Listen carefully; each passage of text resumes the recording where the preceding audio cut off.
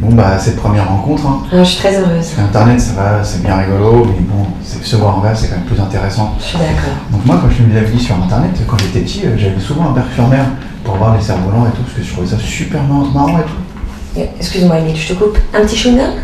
Ouais, bah, je te remercie, j'en prendrai un tout à l'heure. Donc, comme je te disais, j'aimais bien aller à Berck-sur-Mer pour voir les cerfs-volants.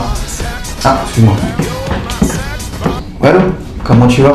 Ça va longtemps Oh, café. Bon, vous savez quel problème Bah, j'ai un gros souci, j'ai mon premier rendez-vous, le jeune homme me plaît, il est charmant, mais il a un gros défaut.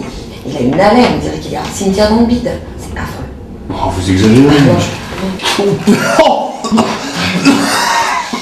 Non, non, vous exagérez. Ouais, vous exagérez pas, non, non effectivement. Bon, euh, bon, bah, c'est qu'une question d'odeur, donc euh, bon, ça, ça, c'est pas un souci, non, je devrais pouvoir vous aider. Bon, bah, excuse- excuse-moi, je suis vraiment désolé.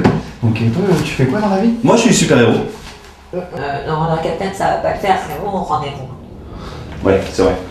Bon, vous inquiétez pas. Wonder Captain a toujours une solution. Voilà. Alors, on disait. Chose du vrai corse.